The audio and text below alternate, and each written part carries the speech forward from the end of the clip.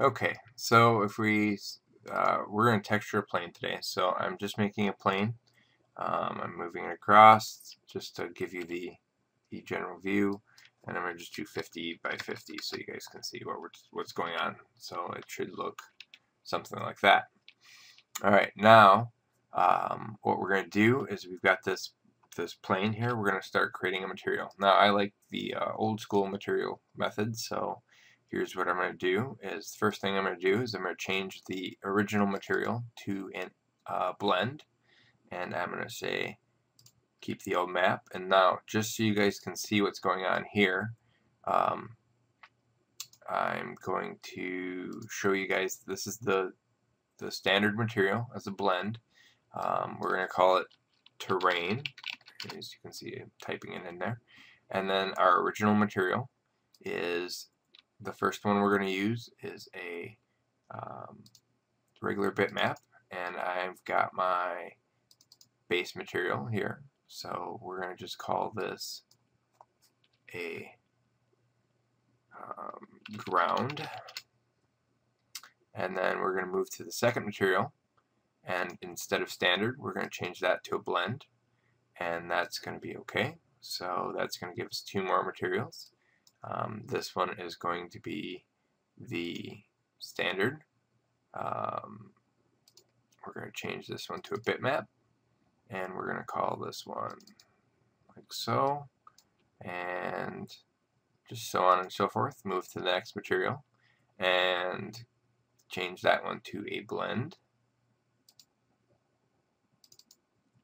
Say OK and then our final two materials, we're just going to simply put bitmap, and we're going to choose one grass, and we're going to go to the next bitmap, and we're going to, our next material, and we're going to choose bitmap again, and I'm going to choose the other grass. Okay, so there's all my materials in there, and of course you want to go in and label them, but just to keep the video shorter, I'm going to skip that fact. And then the next thing you want to do is go up to your original blend and for mask you want to click and scroll all the way to the bottom to vertex color and you're going to add that in there and you're going to change your map channel to 4 um, 1 through 3 is already taken so we're not going to worry about that. And then move down to your next blend. So right here move this blend. We're going to choose this. We're going to choose again vertex color. And 5 and we're going to go into the next blend. And choose vertex color. And choose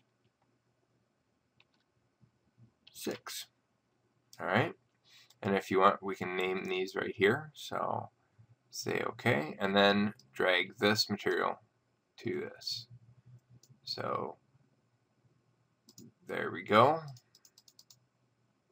Alright, now uh, we've got our plane here. The first thing we're going to do for our plane is we're going to go into um, and add a vertex paint modifier in there and actually just add three of them right off the bat.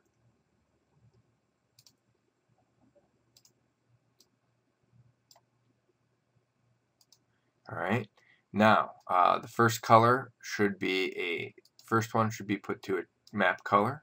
Um, we're going to do 5. No, I'm sorry, 6. And we're going to go into the next one, say hold and yes. And we're going to do map color. And we're going to do 5. Hold and yes. Do map color and we're going to do 4. Okay, so I'm going to close my window here.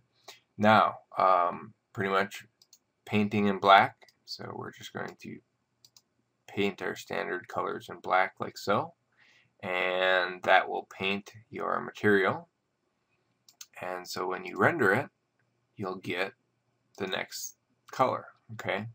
And so it's just a matter of going in and painting your color. Then you move up the stack, say hold in yes, paint your color, and paint your next set of colors on there. Okay, and you can manipulate the brushes. Here's your brush options. You can change your strength so you can have a partial. And this is very similar to a um, very similar to the way a game engine would paint with layers. And then we just move up to the next one and hit paint and we're going to paint this like so. and there's our three or four textures on there. Now you can blend as much as you want and you should have no problem with anything. Um, it's very simple to do and it works exactly like a game engine would and you can do it right in Max. Alright, I hope that helps.